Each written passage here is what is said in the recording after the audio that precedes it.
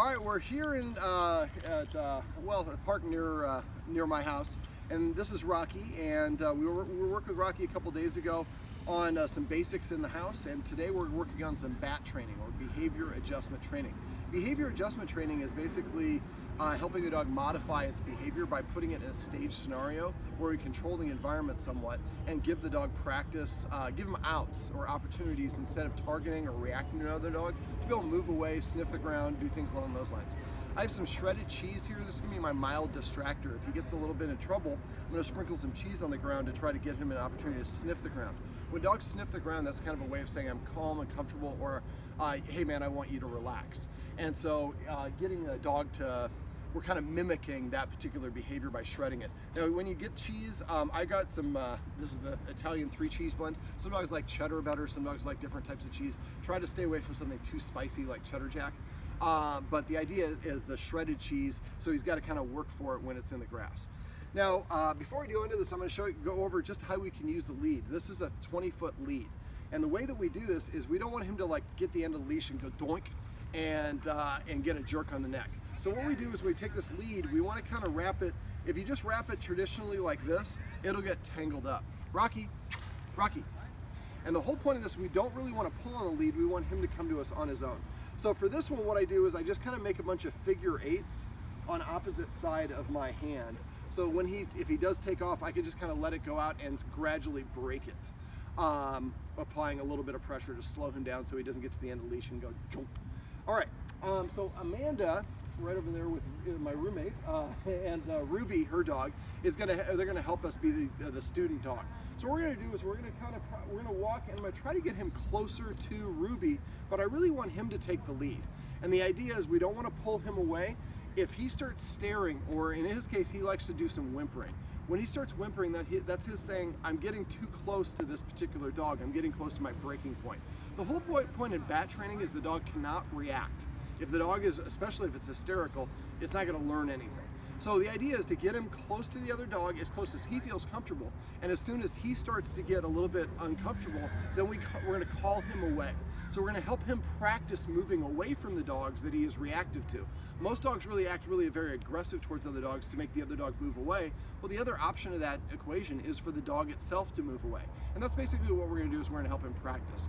Now we have a little dog that's not participating that's behind us and it's kind of uh, doing its little business for the day. So we're going to kind of head in this direction. We'll see how the camera work, uh, how the uh, the camera, I'm sure operator is great. It's kind of always a little interesting. All right, Rocky. Rocky, come on, buddy. Rocky, come on, buddy. There you go. Yeah. There we go. See, um, so we're about 25 feet. You can see he's aware of her, and we start whimpering. Very good, Rocky. Now he's now we've kind of got a dog on either side, which is not ideal. Normally you just want to have the one dog you're controlling. We're in Santa Monica, we can't control all the parks.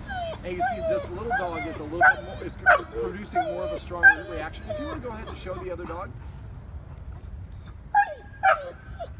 So when he starts doing something like this, this is an opportunity, Rocky, Rocky, to sprinkle some of that cheese. So you see, as soon as we did that, he stopped targeting the other dog and he's engrossed in getting the cheese. This is what we, this is why we use this. Like I said, this is just a mild distractor to help him. Uh, at that point, we're about 20 yards, 20 feet away from Ruby. We're about 40 feet away from that dog, and that was the dog that was produce, producing the response. Now, uh, the, just a quick house cleaning thing. Uh, the Guardians came up here the last two days to let Rocky wander around on his own. So when you guys are doing this at other locations, you always want to try to take Rocky there a, a day or two on his own without any other dogs, preferably. I know it's hard. Um, just to give him a chance to wander around and sniff so it's not a completely new environment. All right, Rocky. And again, as you're going to see me doing this, going to, I'm going to try to avoid what, at all costs putting a tension on the leash. I want him to be able to drive and him to do it where he's empowered to do all of it. Rocky, there you go. So this is about 20 yards, or 20 feet, and this is a little bit difficult for him. So let's see if we can provide a little bit of a distraction. Rocky,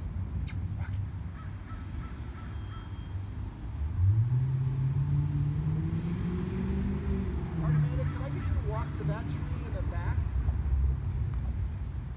So what I want to do is I want to facilitate a little bit of movement with the other dog So he saw that that caught his attention. For dogs, their eyes are very attracted to movement. They're not very good for color or for detail. Rocky. So we're gonna bring it back to his distractor and give him a chance to do this. And you want to take note of how close we are. So now we're closer, we're about 15 feet. Let's go ahead and go down to the third tree.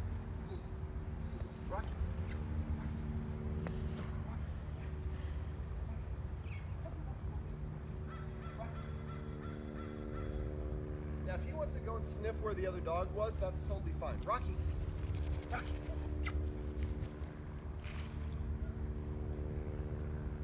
There you go. Yes, I'm trying to get you from being too tangled. All right. So what we're going to do, Amanda, is I'm going to just we're going to kind of do a little bit of a loop.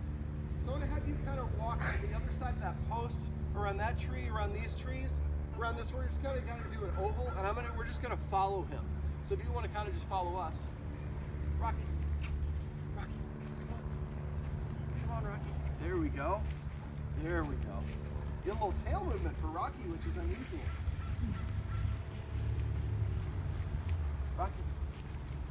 There you go. Yes, we got you tangled up, didn't we? There you go. All right, Rocky, come on. So you could do this when you're, uh, like, if you're at a park or somewhere, just walk behind another dog, and just kind of give the other dog a chance to, uh, your dog a chance to sniff and observe the other dog from a bit of a distance.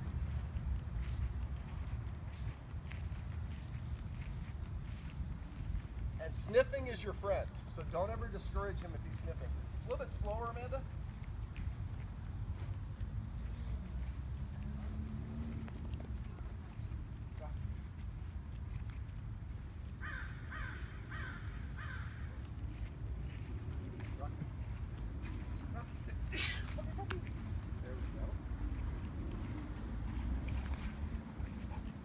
He's like, I know this person. Salud. All right, Rocky. Come on, buddy.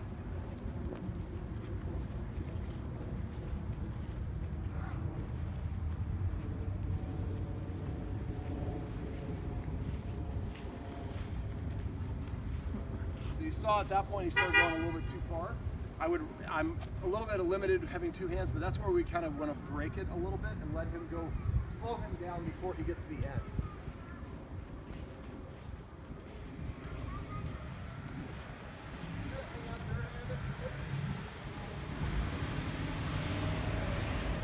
So he's staring, you see his tail is stiff. And again, I don't have any tension on the line.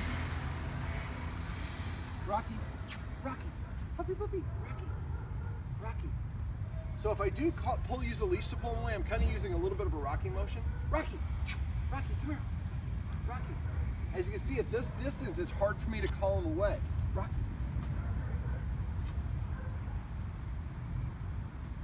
And you can see he's not that interested in treats. So go ahead, maybe take about 10 steps the other direction, Amanda. Now Ruby's a great target because she's uh, a training dog because she's not super high energy.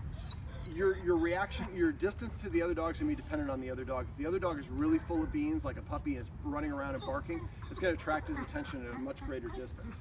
Rocky, Rocky, Rocky. He- He's gonna go straight to the tap. So if he does get into a situation like that, call him away. And if he can't settle himself down, then sprinkle a little cheese to give him a chance to kind of sniff it like he is now. And again, this is what he would do around another dog to say that I'm comfortable. Rocky, Rocky, come here, Rocky, come. Come, very good. Now, if you have a really high value reinforcer, he's not that interested in the chicken treats that I'm using here. So what I would do is maybe stop at Chipotle and get a little uh, jar of uh, their chicken. Uh, we want something, uh, the temperature is more important to dogs than the taste. And so if we can get something that's a little bit higher value. When he does come to us, we want to give him a treat. Now this is something I'd like you guys to also practice. If you guys get a long lead and you're just kind of wandering around a park like this, you want to develop leash skills. As you're wandering around he's kind of sniffing and there's no other dogs around, there's nothing around, every once in a while call him over, give him a treat, call it like return or attention or something, a command that means uniquely when we're at a park doing this sort of activity, I want you to come back to me. We want to shape that behavior independent of other dogs so that he has more practice that so when you ask him to come back, it's not a foreign concept, it's something he's done over and over again. Okay, um, I'm gonna try to get him a little bit closer to Ruby and then we'll probably wrap this one up and then I might have the Guardians doing back, uh, doing what we're doing here. Now when you're doing this, you wanna keep this in short little uh, segments. Don't push for longer than like maybe five to seven minutes per encounter. Then take him away from the other dog, let him relax and settle down and calm down, give him kind of a little bit of a break. Now we've got a second dog that's kind of walking through the park and also a little dog. And so you can see he started whimpering a little bit and whining. It's not Ruby, it's the other dog. So it just tells us that motion is something, it's a trigger for him. And this would be a good opportunity to try to just you can see once he's what we call above threshold, he's not going to be interested in anything. So we're just going to have to wait for that to pass. His tail. The tail's wagging. Good, good observation. Now it's actually wagging where we like. We'd like to see it wagging parallel to the spine. Usually straight up and quivering is kind of more assertive. So,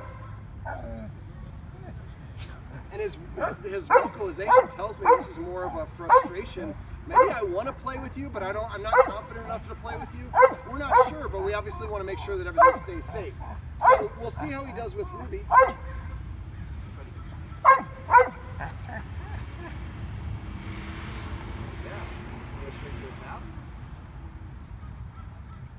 He's like, I'm going straight to the ear.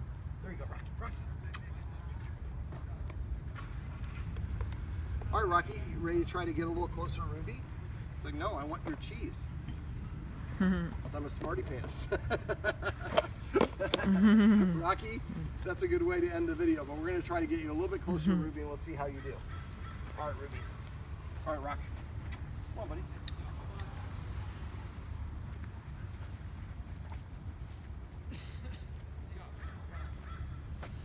Um, can you move just right by that plate over there? I to sniff where Ruby was.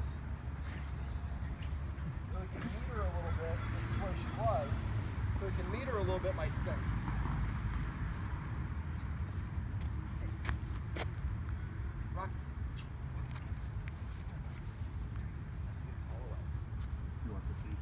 Um, no, I think we're pretty good.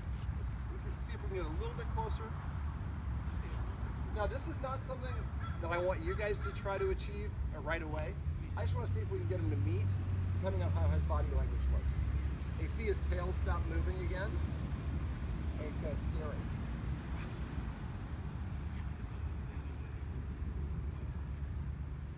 Ruby's like, I'm not sure. Mm-hmm. Rocky, sit.